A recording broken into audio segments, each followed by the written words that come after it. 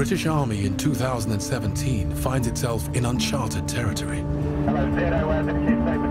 They've not been at war for three years. Yeah, move! After controversial campaigns in Iraq and Afghanistan, there's a political reluctance to put boots on the ground. Afghanistan has taken a horrendous toll on our regiment. Absolutely horrendous.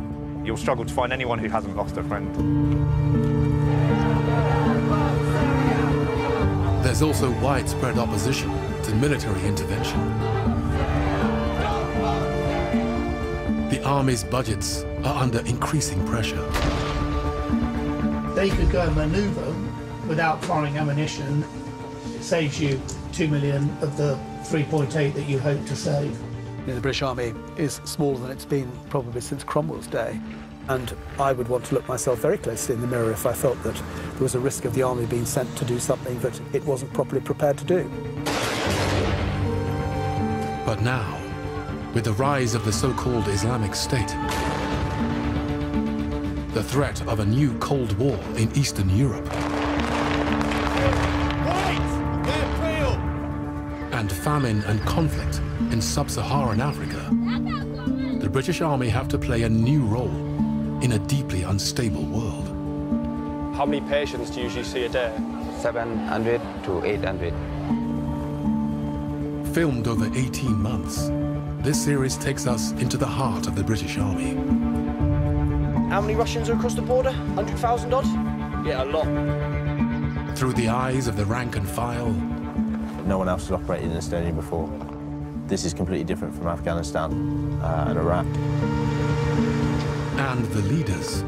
General, how are you? Good to see you. Very nice to see you too. We see the challenges of fighting wars when we are not at war. Days going out fighting the enemy such as ISIS for reasons above our pay grade. That doesn't happen anymore. In this episode, the army returned to Iraq, where they have a bloody history. Should we just search you? About three weeks ago, we met a bloke that was fighting us in Basra, and because his family got killed by the British, that he decided to fight us. So I can, I can see his side of the story as well. Now they're helping the Iraqis defeat so-called Islamic State. Since the Mosul battle started, how many vehicles have you managed to take damage from the front line, fix them and get them back up to the front line?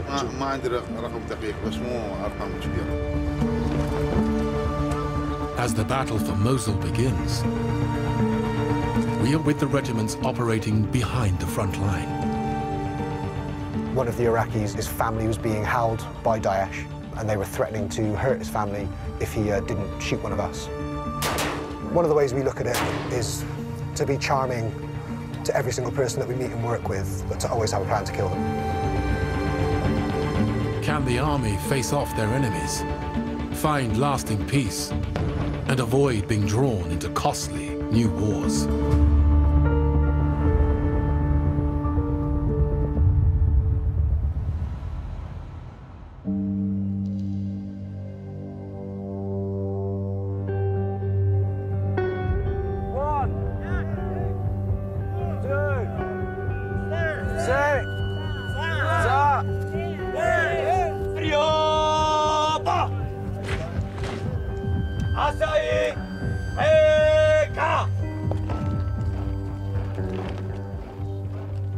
British soldiers from 1 Rifles Regiment are in northern Iraq.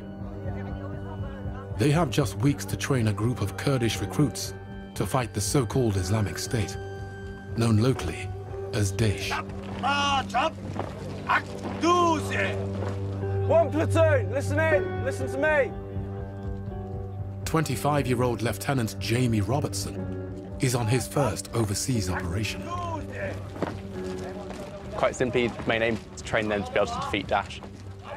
It's definitely a very different tour for a lot of people, and particularly a lot of the guys that have been to Afghanistan before. It's taken a while to adjust. Thanks very much, sir. We train to fight. That's our bread and butter, that's what we do. So to then take that and pass it on to someone else and let them do the fighting definitely was uh, strange, I think, initially for a lot of people. Garwan, Adnan, Farha, Osman. When the so-called Islamic State captured Mosul in 2014. Ibrahim Dayeb was a student. Now he is in charge of a new regiment called the Green Eagles. Many are civilians with little or no combat experience. Do you think the urban stuff in the buildings, is that more useful than some of the countryside rural stuff we're doing?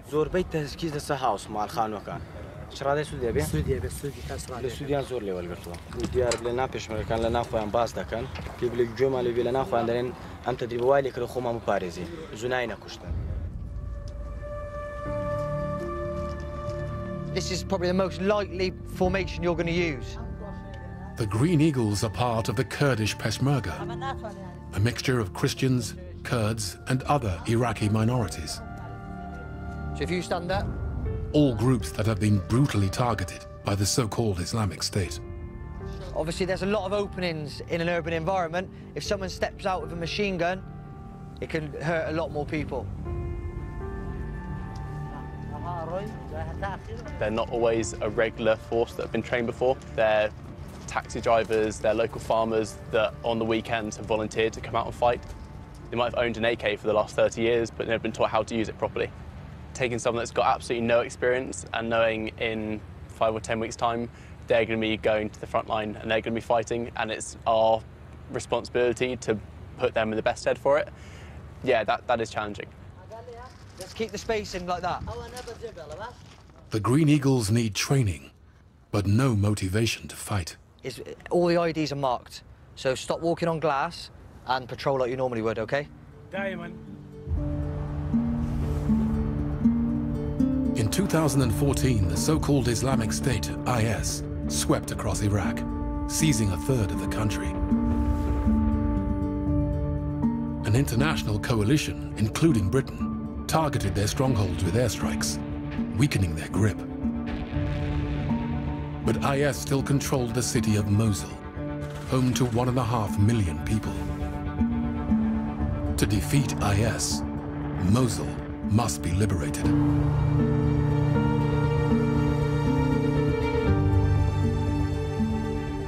ابوي كنترول كنا وين مسل زور كن قبل ايام هو تانا كسكر ما نشتغل معه فريانا كنت وراه دواء ما كنت شنت اخر وما هو كي كنترول كرنا وهاي نفريان زيادة من خوش تدبي زيادة شهيدة دي مو خوم دو برام شهيدة وباكم شهيدة دو برات لقى وخالمش يعني تنانت لا كنترول كرنا يصير رجعكم تقريبا زيادة لبيس نفر ناس ياركو سكار وقسم شتا Would you mind telling us how he lost his family members? Was that, was that in the fighting? دتواني بهمان بليت سون لنا وشربون يعني لا بعاود نستنى The headlines this morning. Iraqi forces have launched an offensive against fighters from the Islamic State group to recapture the city of Mosul. At first light, the advance on so-called Islamic State. Zero hour had finally come, bringing an offensive that could decide the fate of the extremists and ultimately of Iraq itself. يا أبناء شعبنا العزيز يا أبناء محافظة نينوى الأحبة قد دقت ساعة الانتصار وابتدأت عمليات تحرير الموصل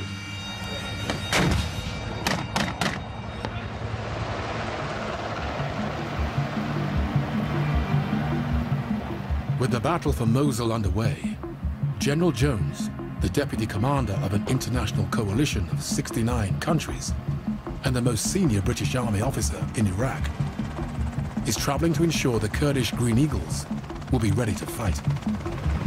Guys, great to see you. Thanks very much.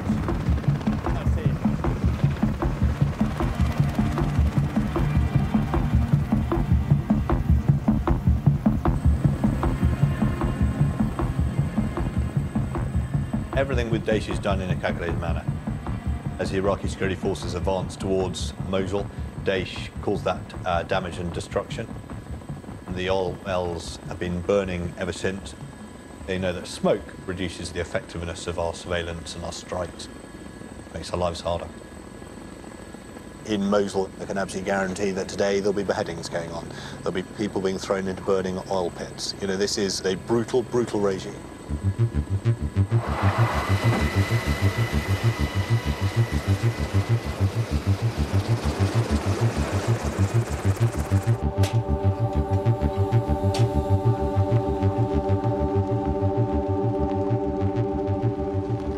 Liberating Mosul is a vital stage in the defeat of Daesh in Iraq. The hard yards in retaking Mosul is being done by the Iraqi security forces. We're not doing the fighting. We're here to support them with advice and then on the ground provide them with air support and surveillance.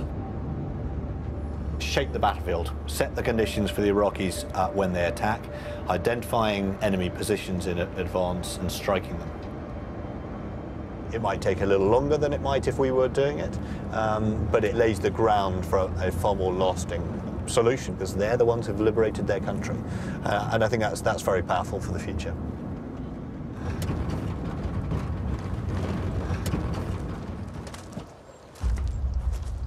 Come on, Jamie, how are you? All okay? Yeah, good, good to see you. Yeah, and you? What's happening? So what we've got, this is one of the platoons here, which is going through um, defence lessons. Yeah. See what's going on. They kind of go for a more medieval style of Yeah. this is our Defend the castle, fort. yeah, Yeah, hold the walls absolutely, and um, absolutely. hunker in.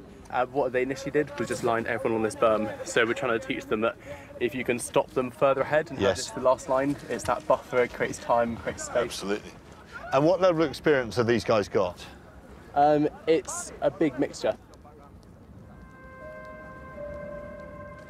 The role of the British Army is very different to the last time they were here. Yeah.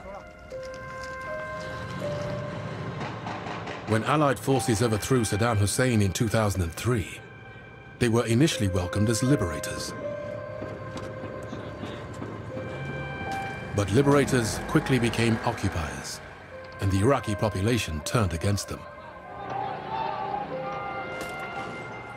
179 British soldiers were killed in action. Iraq has been torn apart by sectarian violence since, a situation IS has exploited. The British military, I think it's fair to say, would feel they've got some unfinished business. I think there was uh, probably a degree of frustration as to the outcome. Was it nested to the very best political strategy? That's for, for others to comment on. I guess what I would say is that because of the way this campaign has been fought, I would hope that the government of Iraq and the Iraqi security forces will have a kind of credibility, um, an authority that w- wasn't there previously. Jamie, thank you very much. I will uh, I'll see you later on. Thank you.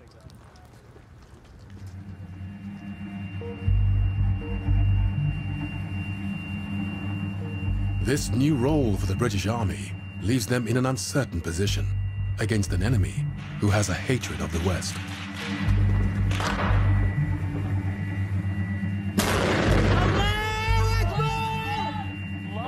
A week into the battle for Mosul, IS launched numerous attacks in towns across Iraq. هذه آليات المرتدين هذه آلياتهم بإذن الله عز وجل إلى مقابرهم one attack is in Al Anbar province, western Iraq. The region was once a base for Al Qaeda. Now it's a stronghold for IS.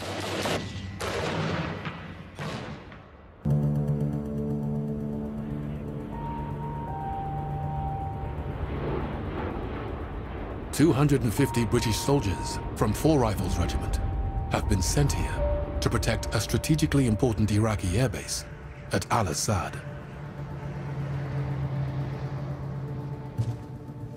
The route we're going to take is we're just going to dismount, we're going to walk through the abandoned CHUs all the way along, through the running track down by the cinema, and, uh, and drop down into the IF Sec 4 HQ. Baldy, that's clear, mate. That's us clear of you. Yes, you can move forward if you want.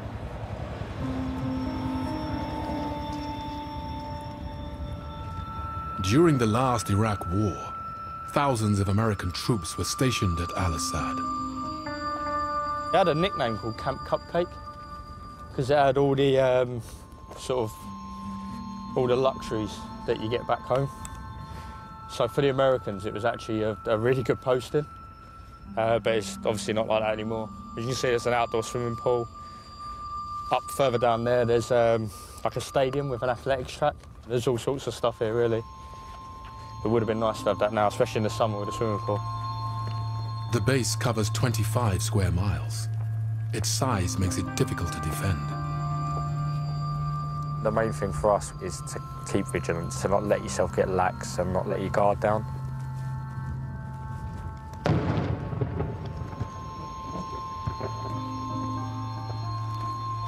Lance Corporal Steve Smith fought against the Taliban in Afghanistan. But the British Army's role here is very different. They can't leave the base or actively seek out the enemy. Once Mosul's done, the question we've really got to ask ourselves is what are uh, Daesh going to look, look at doing next? Are they going to look at coming, infiltrating more into this area? Are they going to become more of a small insurgency in different, in different towns? Salam alaikum. It's easy to identify a uniformed enemy, but the minute they stop becoming uniformed and start fitting in with the local population, that's when it's a, a trickier task.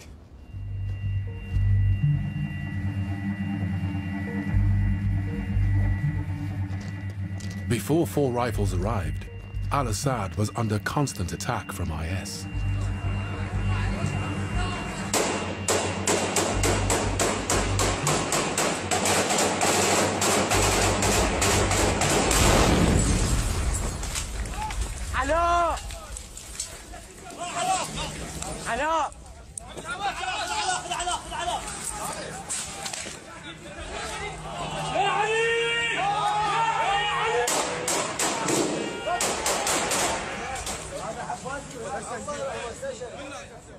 They infiltrated and, and I believe they sort of sort of moved around the buildings. Um, and that's why we're doing patrols like this is to monitor what to get used to what buildings are in use. And then when buildings start getting used again we can start asking why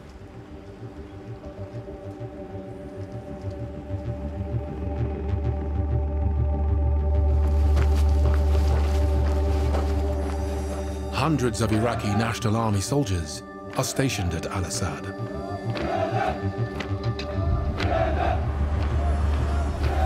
Their job is to cut the flow of IS fighters crossing the Syrian border 100 miles away and joining the fight in Mosul.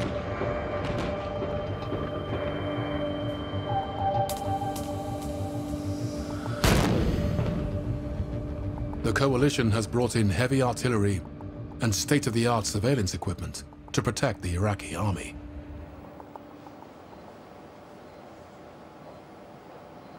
Belt-fed weapon, four-round burst, uh, supposedly high caliber, so the only ones that could be a PKM or a Dushka, and 5900 mils from Sangar 3.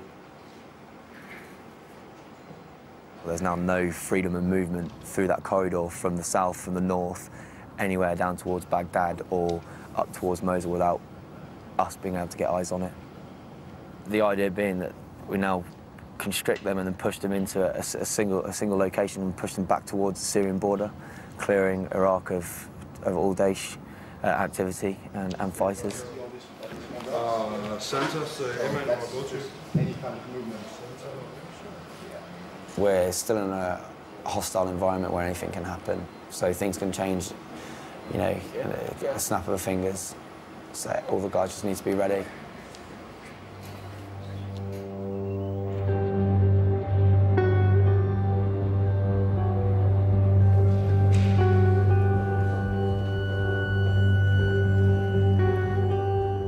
General Jones oversees the coalition's strategy to liberate Mosul. Okay, team. Hi, team. Who's, who's briefing?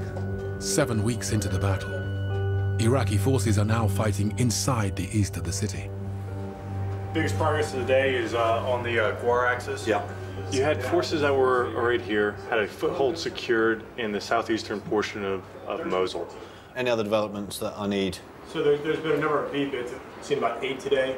One was up on, on CTS forces, the others were focused on the advancing forces in the south. So that advance to the hospital had seven VBIEDs against it? Yes, sir.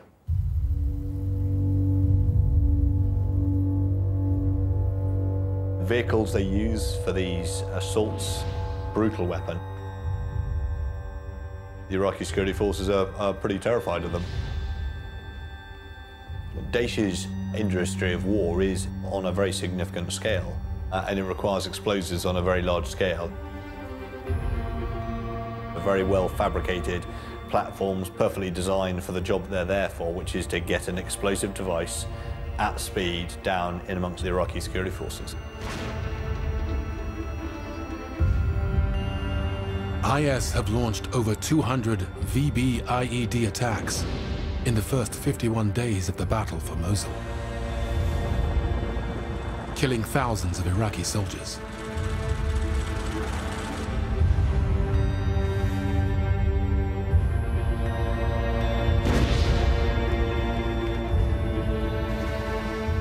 Unlike past campaigns, General Jones can't put coalition troops on the ground to solve the problem. He's flying to the Iraqi Army Forward Operating Base, south of Mosul, and must find another way to help stop the heavy death toll of Iraqi soldiers. I guess I understand better than most people the true cost of war.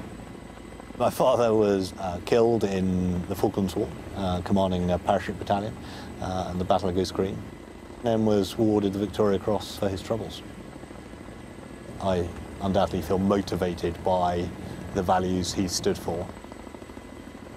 The world's changed enormously since 1982, but I quite regularly in my professional career refer to him and in my mind what he might have done in a set of circumstances.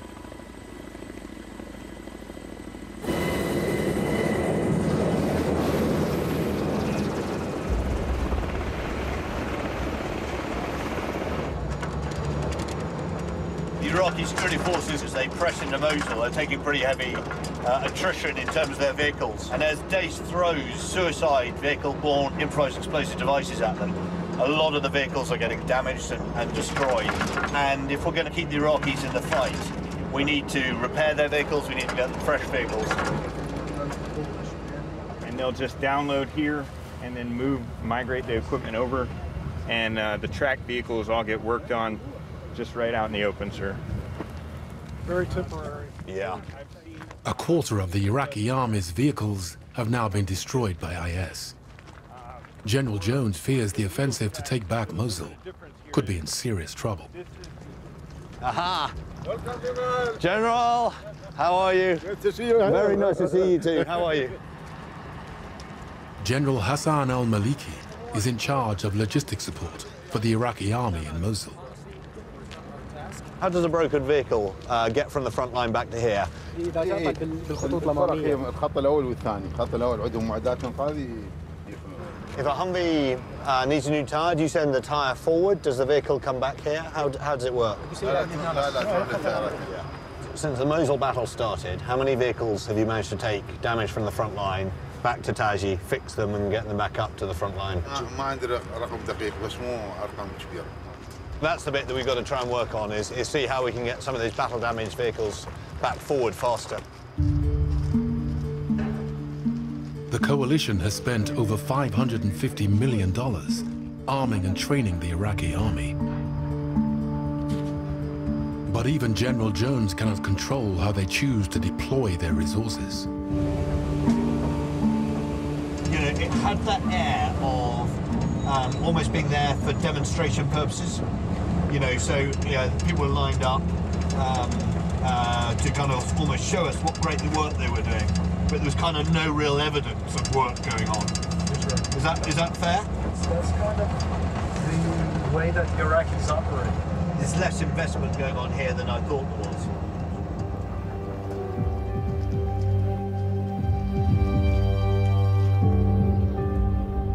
The next day, General Jones calls a crisis meeting with Iraqi and coalition generals. He must convince the Iraqis to improve their military planning, Very nice, sound like. else the battle for Mosul could fail. I think the vehicles that we really want to focus on today are probably Humvees because I think those are the key, key vehicle for the fight for Mosul. We are now using vehicles that we were keeping for after the Battle of Mosul.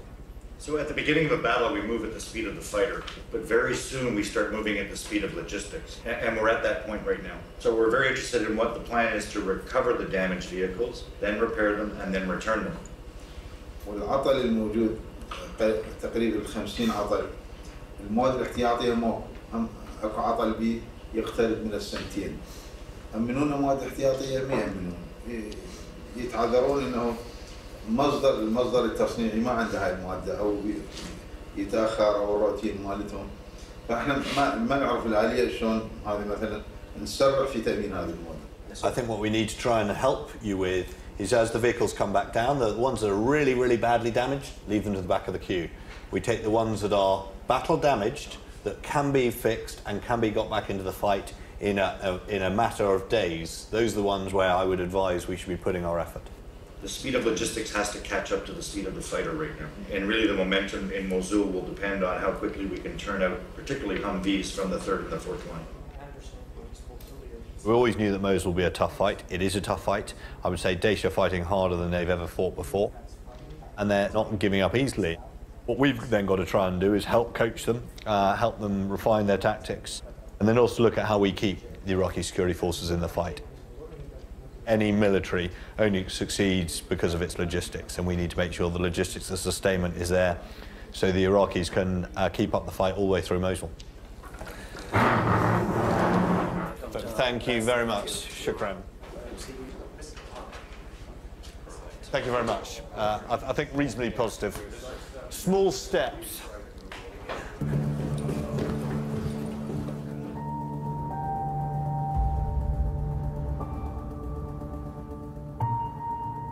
You've had the intelligence that uh, a suspect or someone, a vehicle that needs to be searched, someone suspicious, is going to be passing through this location.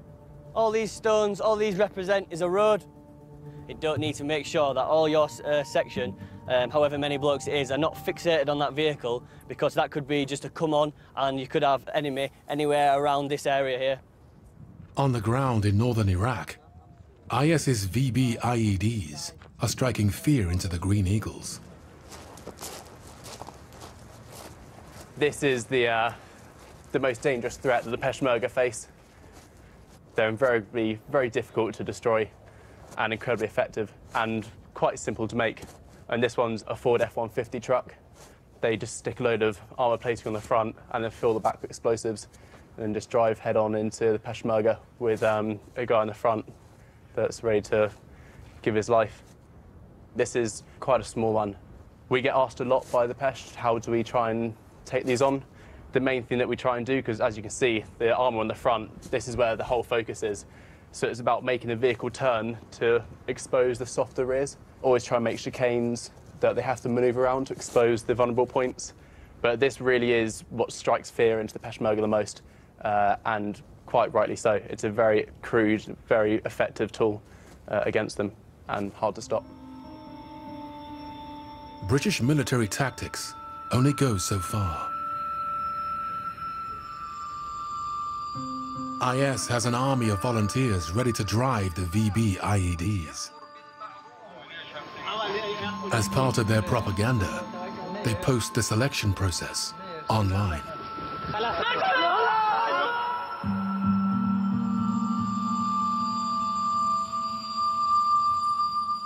That was genuine happiness that he gets to be the next suicide bomber. It's a hard mindset to try and understand. The best way to try and work out how someone fights to counter it is try and put yourself in their shoes. But obviously, it's, it's very difficult from our point of view to try and get into that mindset.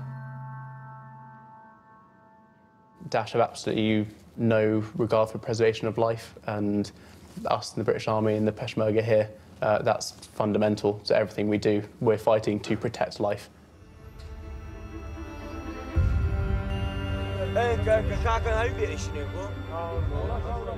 كزان امدا عشان كبين يعني خوانا كبين هسه كردستان كل نزار كنترول بكنوا من عليا كوجا نعم كوجا أنا عقلي خرابه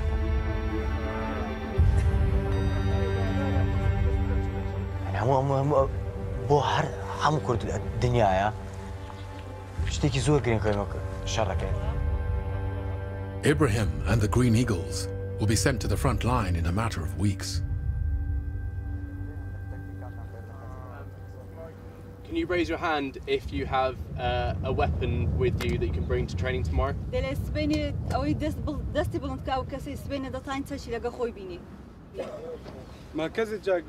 The coalition has supplied the Peshmerga with guns and ammunition, but all resources are now being used inside Mosul.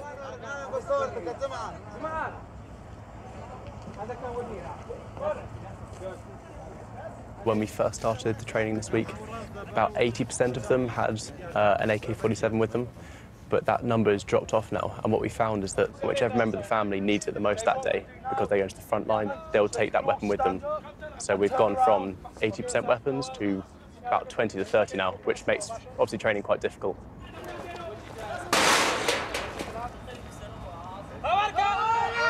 ئیترە فۆجدانی ئەو بۆ کۆتۆڕۆکردنەوەی مۆسڵ پاراستین و دوای کۆتۆڕۆلکردنەوە خەونەکان بۆ زەوە بگەڕینەوە ناو ماڵ و کەسوکارکە خۆمان و سەرخان و ئارز و شتانی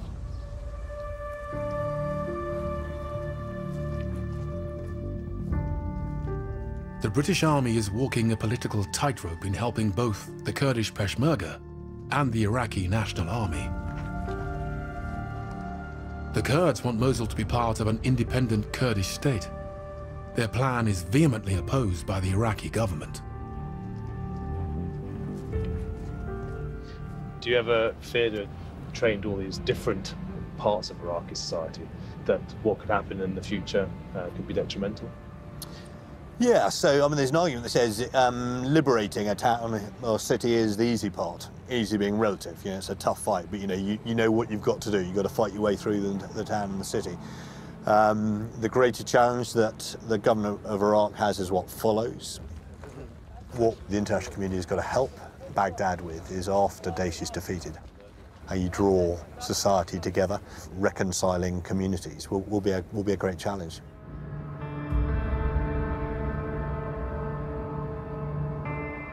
At Al Assad, there have been fresh suicide attacks near the base. Okay, so an update to the enemy picture. Significant events. So they've received two incidents of incoming. One coming from Haditha, which is approximately here, and another coming from Sagra. Again, what that's showing is Daesh will to continue fighting. They're willing to hold that ground and fight for that ground. Of note is two suicide bombers uh, that struck ISIL positions along Highway 19. Essentially, one of them was killed before he could detonate his vest, uh, and the other successfully detonated. Two friendly KIAs and two friendly wounded.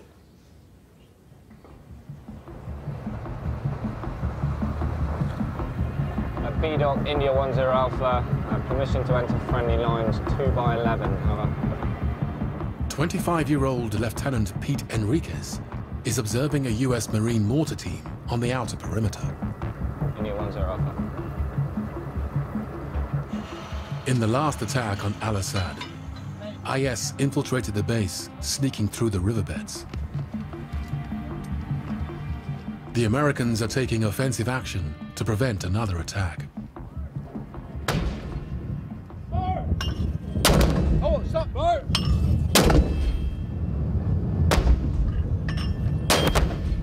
It goes to show how determined these people are. Uh, crawling in five days on your belt buckle, on your chest, is, I mean, that's pretty grim.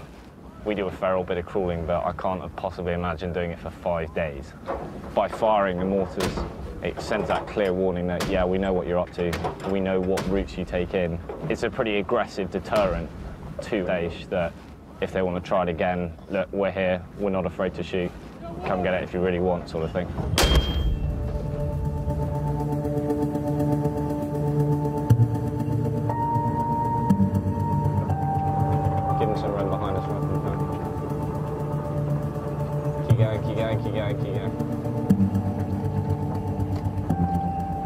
Signed up to the infantry, or we signed up to the army because we wanted to pick up a rifle and get directly involved. having to answer the hard questions that the riflemen are asking because they're intelligent guys, having to put a positive spin on why they can't necessarily go out into the area outside of Al Assad Air Base when they'd like to. So it is frustrating. It's an entirely different type of warfighting.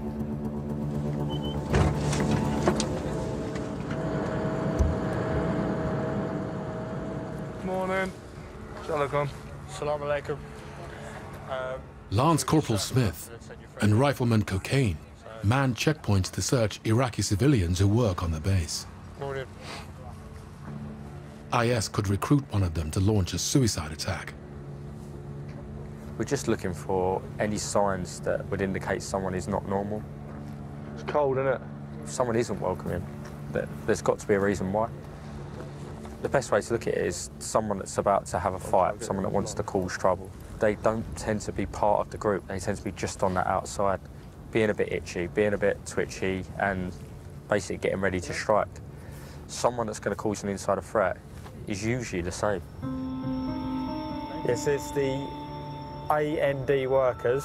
So literally 5 through to 11. Over.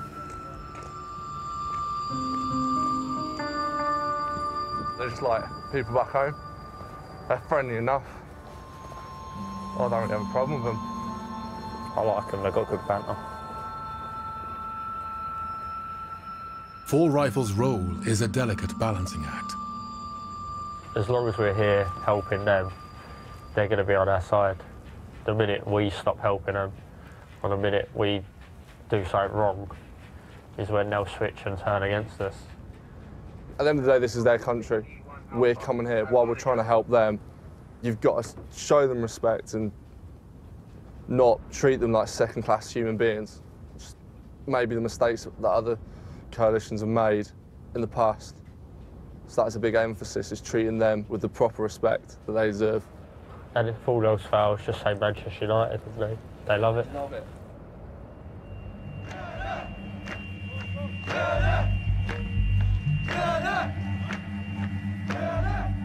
Four Rifles are also training hundreds of soldiers from the Iraqi National Army at Al Assad.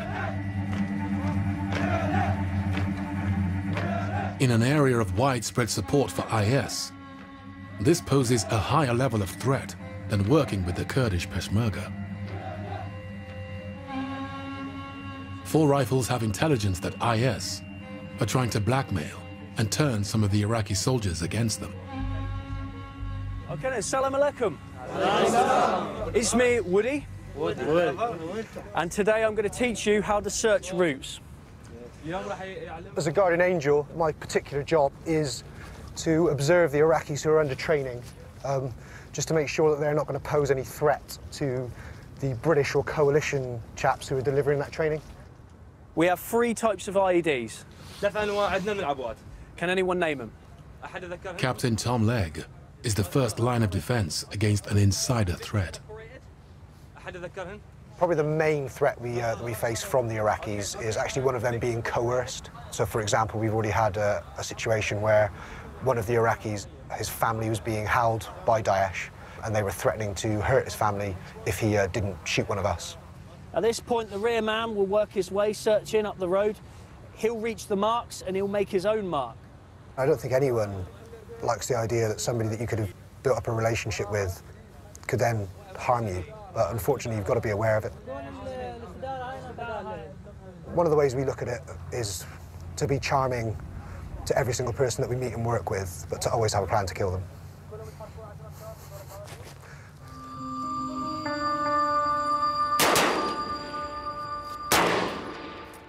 A further threat to Four Rifles is some of the Iraqi soldiers they are now training were their sworn enemies just a decade ago in the last Iraq War.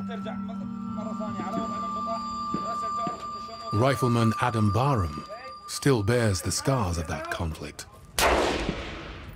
Took a bit of a grenade coming the back of our wagon and it exploded and it hit me in the side of the head, up the side. I've got bits, I got a bit come out my nose the other day, I don't know if you can see it there. When I was in the gym the other day, it popped out my eye and got stuck in my nose. About three weeks ago, we met a bloke that was fighting us in Basra. So we started speaking to him and he said he was part of the, the army we were fighting down there. it's a bit weird knowing that he could have been the one shooting at us. he said he was sorry for his, what he did, but he was just trying to defend his country. It's only because his family got killed by the British that he decided to fight us. So I can, I can see his side of the story as well.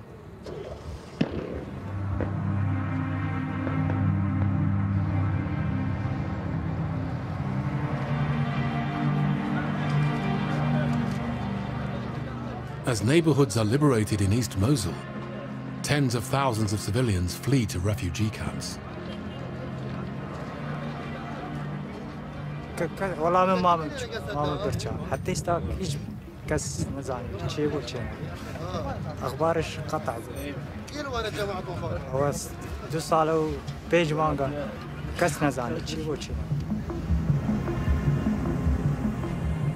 Humanitarian planning for Mosul was based on a worst case scenario where the entire population of Mosul leaves their homes. The government of Iraq advice is to stay at home as long as it's safe to do so. Prime Minister Abadi, he's walking a kind of tightrope between the risks to the population as they stay in the city compared with the risks of a humanitarian catastrophe if they come out of the city. Many are ignoring the government's advice.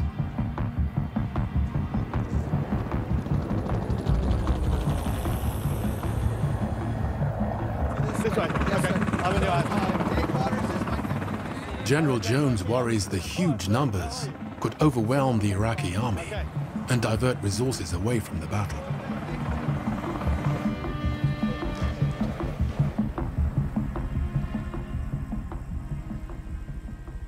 I'd very much welcome your thoughts on the situation and where we might go next. كنا نثقف الاهالي ونثقف الناس اللي مسؤولين عن القرى والمناطق بضروره عدم النزوح. ثقافه وصول المعلومات للمدنيين بعدم النزوح امر ضروري. وخصوصا كل ما يتقدم الوقت كل ما يصير الجو بارد قاسي. If we start getting very large numbers of people coming out of the, the city, uh, that will very quickly overwhelm the, uh, the ministry uh, organisations, but also the international community. تدري أصعب القتالات هي القتالات المناطق المبنية. وأعرف دخول الدبابة بالمناطق المبنية إيش قد مدى تأثير الطلقه في الأحياء السكنية. إذا القضية معقدة جدا. مرور عملنا هسه لحد الآن نفقد التنسيق العام يعني هسه اني أروح أفتر ما اعرف ايش دا يصير بسد الموصل النازحين ما اعرف حسن شامي دا يصير مو احنا شغلنا هذا كل زين ما نريد نفقده باشياء بسيطه You know, the eyes of the world is on Mosul, and the last thing we want is the fantastic liberation of the city by the Iraqi security forces to be compromised by the humanitarian situation. Thank you very much. Shukran. The Iraqi strategy of keeping residents in Mosul is an uneasy compromise for General Jones. It means the civilians are at risk from collateral damage. Shukran, very nice to see you. Yeah, no, it'd be really good to have a quick look. The, the Colonel seems a good guy. He is. What you can't do is just look for quick wins. You know, think that the retaking a town, a city is the end of the story. It's absolutely not. You've, you've got to follow through on it. You know, if you look at Mosul, the last thing anybody wants, least of all Prime Minister Abadi, is for the, uh, the story of the liberation of Mosul to be, be overshadowed by some kind of humanitarian disaster. So there's a, there's a direct, direct correlation between victory on the battlefield and, and managing the uh, civilian population.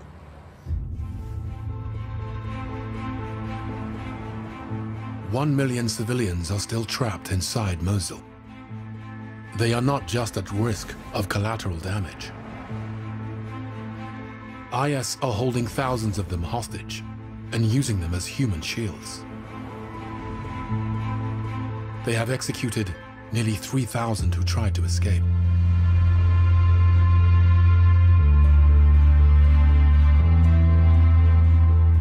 Fifty miles away, One Rifles are training the Green Eagles on how to counter IS's use of human shields.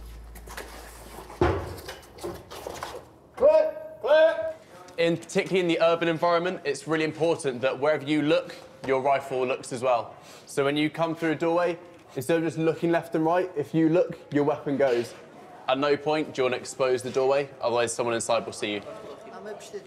This is the most dangerous environment that you can operate in, going through buildings. There's so many blind corners. It gives massive advantage to the people in there defending. So you've got to be confident. You've got to be assured of yourself. The second you hesitate in a doorway or you go around a corner without someone following you, that's when mistakes will happen. Bash. And so now you're covering this door, yeah?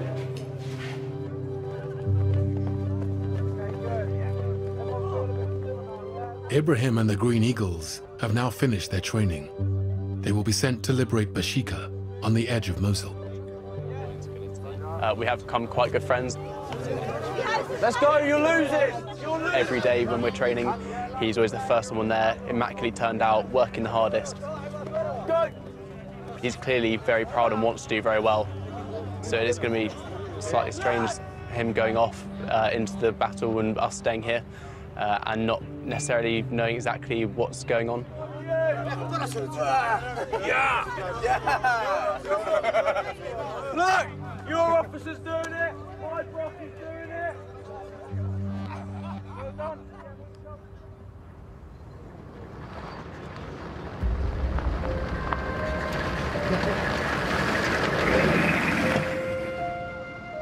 As areas surrounding East Mosul are liberated, the coalition and Iraqi army face a new set of problems.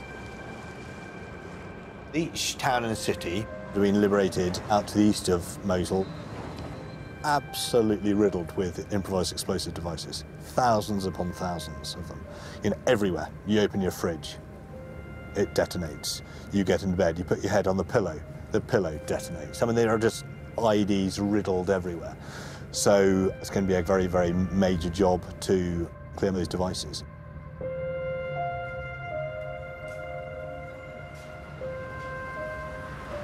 أنا مدير ناحية برطلة يعني دمار إحنا هذا السوق الرئيسي مال برطلة دمروها تدمير كامل. عمل حزين بل مأساة الناس مسيحيين والشبك بقوا هنا وأخذوهم.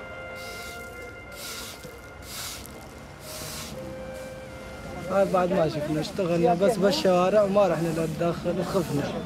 نخاف لاكو عقوات شيء قرايبي انقتل بي داعش قرايبي اخذوهم من الجو كانوا بقوقجل يقضبوهم اخذوهم بالبلوك زين مو يعني بالرصاص.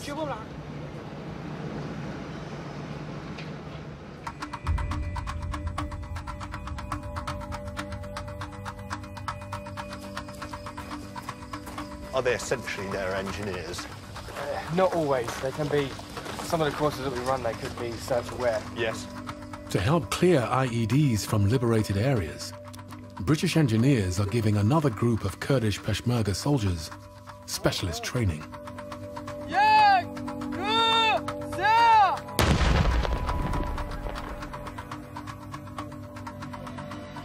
So you can see there, he's checking with his Vallon, and he's also keeping his head up, looking for uh, anything else in depth. Corporal Scott Holloway spent months clearing IEDs in Afghanistan.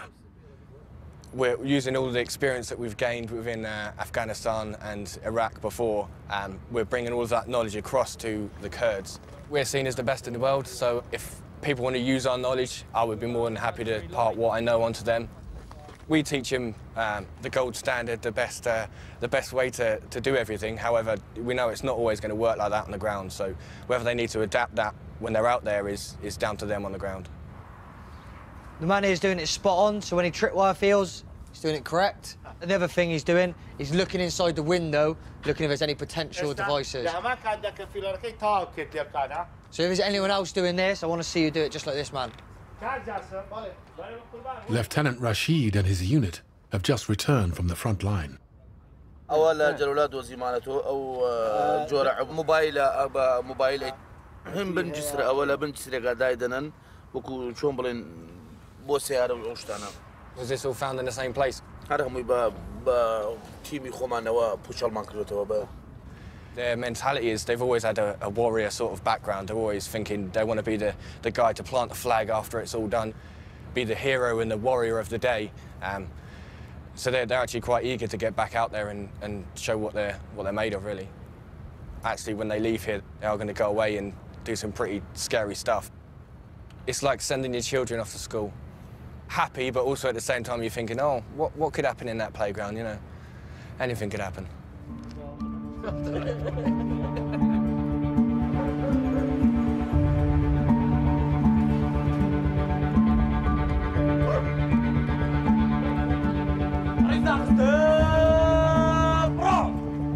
Weeks after Ibrahim left the British Army, his Green Eagles regiment helped liberate Bashika on the outskirts of Mosul.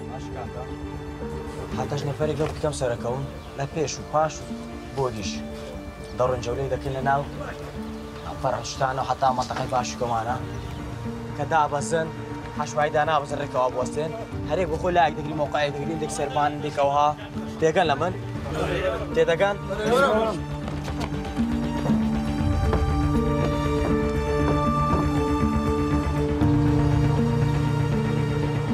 Now Ibrahim must ensure all IS fighters and sympathizers have left the town, so residents can return home. قول عربي؟ الله يزيد يعني يزيدي هذا إيش حتصير حاليا رايح والله أر... والله المشكلة أروح على بيت خالي. الماهيني مع المشكلة كل شيء ماكو شيء خطر لا لا لا لا كل شيء ابد داعش شيء أبد كل شيء ما شفناه أبد؟ أبد. وقولوا لعوائلكم البقية من أهلكم والمهاجرين قول لهم كل شيء ماكو هنا والجيش هنا. إيه. مستقر الوضع. بيشمرقه إيه، أعرف. الجيش أقول لك جيش بيشمرقه إيه. وكل شيء ماكو المنطقة أنتم ما تعرفون على عيني على. راسي. أمر خدمة. ممنون أخويا. تسلم أخويا. The Battle of Bashika was fierce. 90 Peshmerga soldiers were killed. خزمو هاوري مشي لدست مداوكا لما كو بتعب ضابط مانش ضابط يقل دوري خومان شهيد بو. لو شارع دو انت جبري دارو مردارين قرص بو. تنانتي شان لو أنا حتى عن الشلل الليبا ديارنيا لفقراتي داوا. هم لباش بوليرا IS hid in a vast network of tunnels to avoid coalition airstrikes and launch counterattacks behind enemy lines. قبريا The Green Eagles have begun to clear the tunnels of E IEDs. اول نفقه كان كان نفقه 11 ليدا الي رليدا وحتى سرتشي كان حتى جدانا بس حتى جرتشي كان ونفقه وايا اللي داوا انت سير يعني شبوشي بو تۆزێک خاتەرە ناتوانێت تێ دووەکە تیر پاک نەکرایەوە سیرکەمە هەموو ڕەشاتی ئاگری هەل کردووە لە ناو و تەنەکە و جلو کەلوپەریانش لێرەیە. ئەمە کە پێشمەرەکانی مات پشکنیێرەیان کردێن شوین حوانەوەیانەکە خواردینە لێزە ئتر مەرهەمی هەبوو ئەم شتەکانی پێسوشتی هەبوو دەرمان و ئەدوێ شتەکانیان هەم لێرە و سەلاجیان لێرە بوو. یان شتەکان کەرابیان کێشا بوو. وەکو خانەیەکی خۆش وەکو فندە خەمس نجم ستێرە پێنج ستێرەکان دروستیان کردو.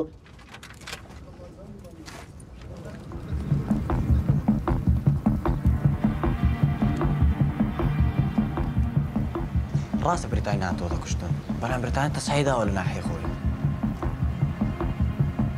ئەو میم نییە میم ئەوەیە کە چون یارمەتیتی داوە بەچێکی یارمەتیتی داوە بە تیار یارمەتیداوە بە تدریبیانتی بە مەشق بەڕاهینە بە شتێک یارمەتی هر هەمەش تەس هر مش مەقابلی کوشتن.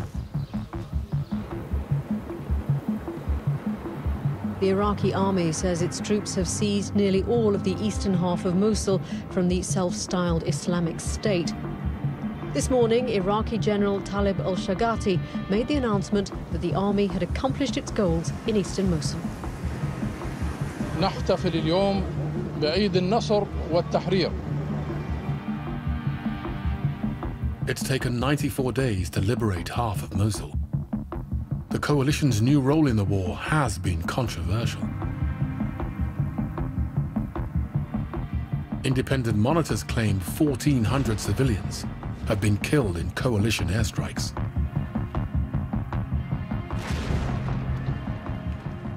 We will do everything in our power to defeat Daesh, kill Daesh on the field of battle without causing any civilian casualties. But regrettably, in some instances, there will be civilian casualties. If we did nothing, there'll be a great deal more civilian casualties because Daesh are killing the civilian population on a daily basis. So there's no, there's no sort of really easy way around this.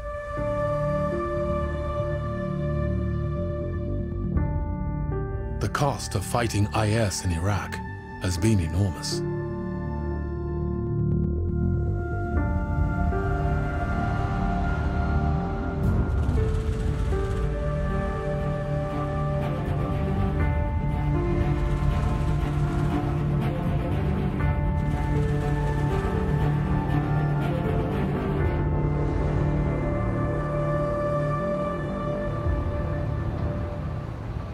The battle for West Mosul continues, four rifles are coming to the end of their tour.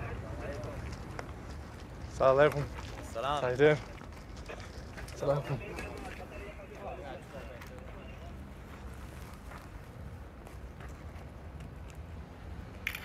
Yeah, yeah, boys. See you later. Doesn't matter where you go in the world, Instagram always counts. I'm proud to say that I'm out here representing my country. While it, is frustrating we want to go out there and find ISIS and do the job ourselves, if we did that, chances are some of the boys might not come home. So it is really good knowing we are going to be going home together. Boss, can you take a photo? I'll, uh, I'll get one from a bit further back. So get the, get the whole plane in there. That's better. Ready? Got ya. Al-Assad Air Base. Front line of defence against Daesh and a good photo opportunity. Armed forces change, doesn't it? Like, the days of going out and fighting the enemy and destroying the enemy, such as ISIS, for reasons above our pay grade, that doesn't happen anymore. I know if you speak to my family, they'd much rather me do this than go through building to building in Mosul. I don't think the public back home, I don't think they'd want us to have another Afghan campaign either, would they? Nine times out of ten, when you wake up at three o'clock in the morning, you, you don't feel like you're helping anyone back home. But when you really think about it, yeah, yeah, you probably are. Most annoying thing is having a 50 cal and not being able to use it. Sitting there, toying with you.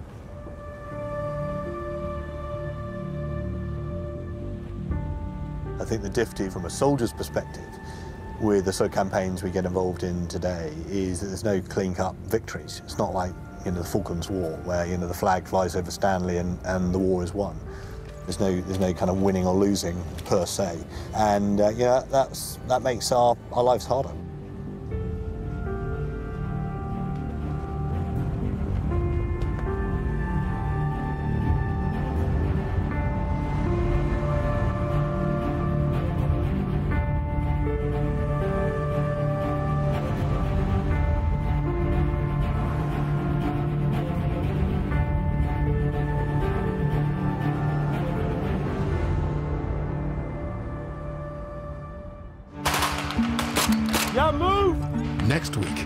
British soldiers are on the front line of a new Cold War. How many Russians are across the border? 100,000 odd? Yeah, a lot.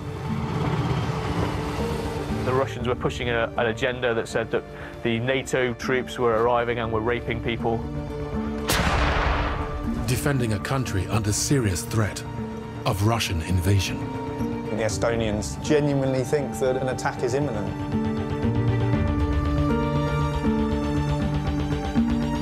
The series continues next Wednesday at 9. Next tonight, here on BBC Two, the latest boardroom evictee spills the beans. In The Apprentice, you're fired.